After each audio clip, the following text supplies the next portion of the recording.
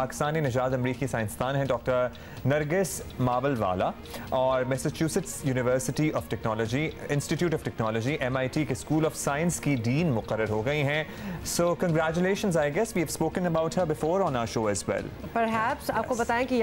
शकम सितंबर से नए जिम्मेदारियाँ संभालने वाली माहिर एस्ट्रोफिजिसिस्ट नरगिस मावल वाला स्कूल ऑफ़ साइंस की पहली खातून डीन होंगी। तो ना सिर्फ़ कि वो पाकिस्तानी ऑब्वियसली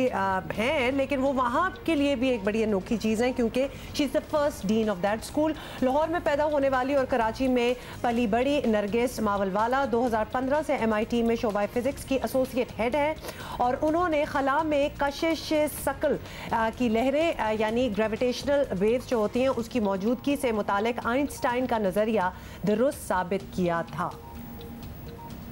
सो so, ये वो लोग हैं जिन्हें जिन पर यकीन हमें फ़ख्र है और यही वो लोग हैं जिन जो पाकिस्तान का नाम वैसे actually you know on your own time आप इनके बारे में रिसर्च करें you will find out stuff क्योंकि ये इतनी ब्रेनियक हैं कि क्या क्या इन्होंने काम किया है और uh, मतलब ऑब्वियसली एक तो वो पढ़ाई मास्टर्स वगैरह तो हो जाता है फिर डॉक्टरेट पी और फिर post doctorate as well and she still at it